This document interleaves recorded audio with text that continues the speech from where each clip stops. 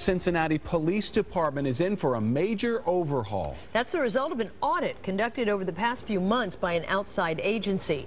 9 News reporter Janelle Walton is live in the newsroom with how the changes could affect your safety. Janelle? Carol and Brendan, the final report is 150 pages long. The chief says he wanted to find ways to not only cut costs, but improve how the department is run from the top down. Chief Craig says he wants it to be more efficient. The audit review took place between October and December of last year.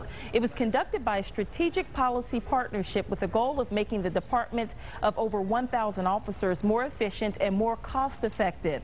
Chief Craig says he would like to implement many of the recommendations, including improving the quality and effectiveness of investigations, shrink specialized departments, encourage creative thinking, and improve the department's use of technology.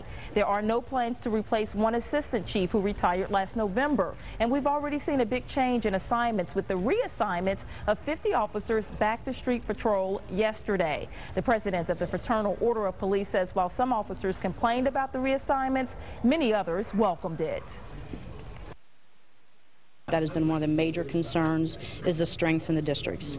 Um, that is one of the things that uh, our officers have come to us about, the fact that a lot of time in the summers there's no time off, no time off, can't get off uh, due to the staffing levels within the districts, and I think that um, this is a, a very um, interesting change, and I think that um, the districts are going to benefit from as well as the officers that are out there.